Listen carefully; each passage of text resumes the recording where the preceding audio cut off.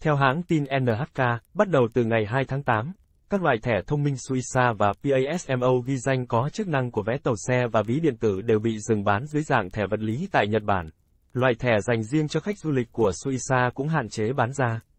Công ty đường sắt Đông Nhật Bản, JAX Japan, và Hiệp hội PASMO, Hiệp hội bao gồm các công ty đường sắt tư nhân ở khu vực thủ đô Tokyo của Nhật Bản, đã thông báo tin tức trên vào ngày 31 tháng 7. Nguyên nhân là do ảnh hưởng của tình trạng thiếu hụt chất bán dẫn toàn cầu, nên không thể xác định rõ ràng kế hoạch sản xuất thẻ và khó có thể nối lại hoạt động bán hàng trong thời gian ngắn. Cũng vì lý do tương tự, việc bán hai loại thẻ này mà không cần đăng ký danh tính đã bị dừng từ ngày 8 tháng 6. Theo trang tin, người quan sát, Trung Quốc, Suiza và PASMO là những loại thẻ thông minh được sử dụng phổ biến ở Nhật Bản. Chúng có thể dùng để mua vé tháng hoặc nạp tiền để sử dụng phương tiện giao thông công cộng, thanh toán tiền taxi, và cũng có thể được sử dụng tại các nhà ga, cửa hàng tiện lợi và một số địa điểm mua sắm và ăn uống. Hai tấm thẻ này có thể coi là vật bất ly thân trong cuộc sống của người Nhật.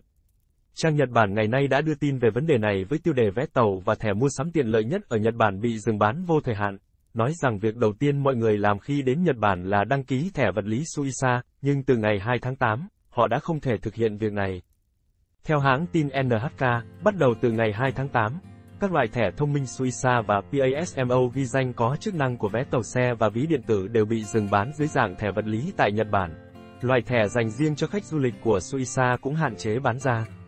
Hai tấm thẻ Suica và PASMO có thể coi là vật bất ly thân trong cuộc sống của người Nhật. Công ty đường sắt Đông Nhật Bản, JAX Japan, và Hiệp hội PASMO, Hiệp hội bao gồm các công ty đường sắt tư nhân ở khu vực thủ đô Tokyo của Nhật Bản, đã thông báo tin tức trên vào ngày 31 tháng 7. Nguyên nhân là do ảnh hưởng của tình trạng thiếu hụt chất bán dẫn toàn cầu, nên không thể xác định rõ ràng kế hoạch sản xuất thẻ và khó có thể nối lại hoạt động bán hàng trong thời gian ngắn. Cũng vì lý do tương tự, việc bán hai loại thẻ này mà không cần đăng ký danh tính đã bị dừng từ ngày 8 tháng 6. Theo trang tin, người quan sát, Trung Quốc, Suiza và PASMO là những loại thẻ thông minh được sử dụng phổ biến ở Nhật Bản. Chúng có thể dùng để mua vé tháng hoặc nạp tiền để sử dụng phương tiện giao thông công cộng, thanh toán tiền taxi, và cũng có thể được sử dụng tại các nhà ga, cửa hàng tiện lợi và một số địa điểm mua sắm và ăn uống. Hai tấm thẻ này có thể coi là vật bất ly thân trong cuộc sống của người Nhật. Trang Nhật Bản ngày nay đã đưa tin về vấn đề này với tiêu đề vé tàu và thẻ mua sắm tiện lợi nhất ở Nhật Bản bị dừng bán vô thời hạn, nói rằng việc đầu tiên mọi người làm khi đến Nhật Bản là đăng ký thẻ vật lý Suica, nhưng từ ngày 2 tháng 8, họ đã không thể thực hiện việc này.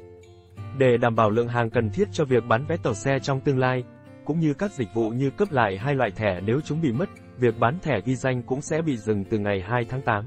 Các loại thẻ bị tạm dừng bán bao gồm thẻ ghi danh Suiza, Monorail Suiza, Linkai Suiza và thẻ PASMO. Tập đoàn JAIS và Hiệp hội PASMO cho biết, chúng tôi xin lỗi vì sự bất tiện và rắc rối đã gây ra cho khách hàng. Theo trang tin, người quan sát, hiện tại, các ứng dụng Mobile Suica và Mobile PASMO trên điện thoại thông minh vẫn tiếp tục được sử dụng và thẻ vật lý đã được phát hành cũng có thể sử dụng bình thường.